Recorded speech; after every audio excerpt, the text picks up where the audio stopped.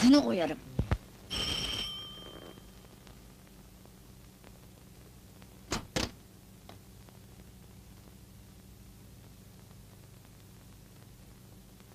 Buyurun hanımefendiye haber vereyim.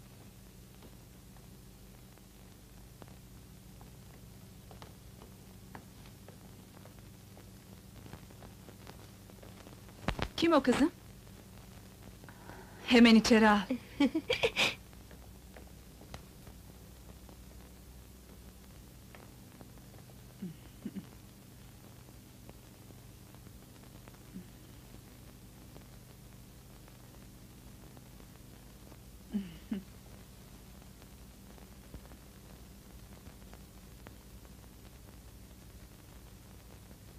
Bu garson yeri senin için tuttum.